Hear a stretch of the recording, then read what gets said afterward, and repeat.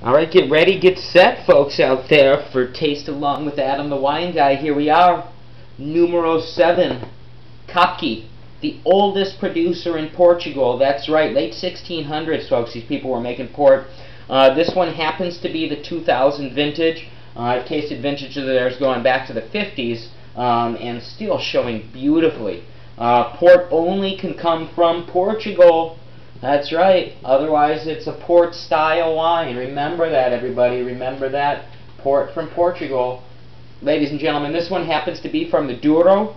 This, the 2000 vintage. Uh, port is only made in vintage years when they feel that the grapes are awesome. And uh, 2000 was a stellar vintage. Let's get a little bit in the glass and get down to business. I mean, shoot, that's what you guys are tuning in for. Is it not or is it? Or is it not or is it? That is the question. So we got the port in the glass. And the color is unbelievable. These vintage ports generally have really, really deep extraction on the color. I can't even see my thumb through this glass, that's for sure. And you know, when you're looking at, uh, at the color and the quality of this wine, or any wine, you always want to look through the wine. You don't want to do this. It's tough to see. There's no background. There's nothing going on. So really, we're looking through this wine.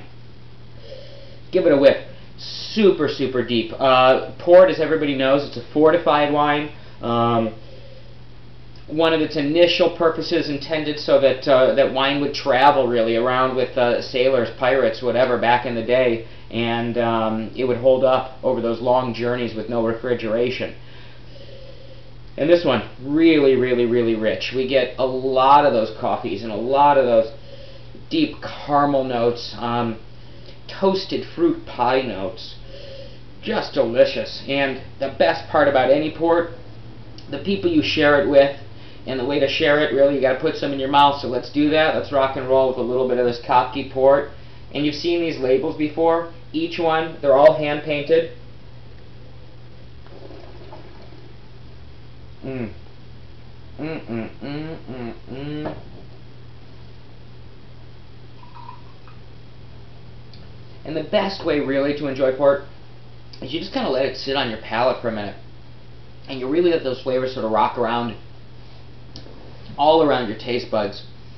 And this one has just touches of acidity, but this really rounded quality of nice toasty wood, caramels, um, baked fruits, berries, deep berries, the finish just keeps going and going and going and going. This 2000 Kopke would be like the Energy Bunny or Energizer Bunny of ports, really, with its finish. That's for sure. We'll be tasting them again in the future. Keep your eyes peeled. The Kopke 2000 Vintage Port.